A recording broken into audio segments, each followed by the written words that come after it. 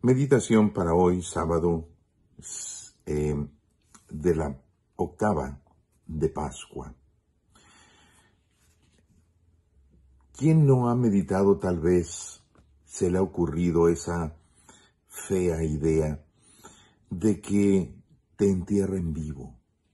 que ha ocurrido desgraciadamente esa terrible pesadilla de alguien que se despierta por algún error médico, se despierta en el sepulcro, enterrado, y lo encuentran después cuando lo exhuman, que está todo volteado y arañado el ataúd. Una idea muy fea. Pero yo quiero ver, esto lo puedo comparar con las personas que no creen en Cristo, que rechazan a Cristo. Son personas que este mundo se ha convertido en una tumba para ellos porque no hay salida y empiezan a pensar en, en modificar sus cuerpos, buscan la felicidad en el dinero, en el placer, en las drogas.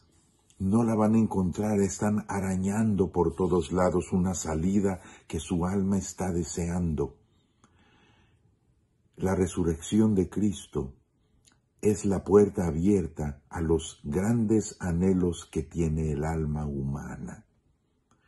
Pero rechazar a Cristo es quedarte sepultado en este mundo. Cuando realmente aceptas a Cristo, tu alma respira. Pidamos a nuestra Madre hoy que nos ayude a dar frutos de vida eterna.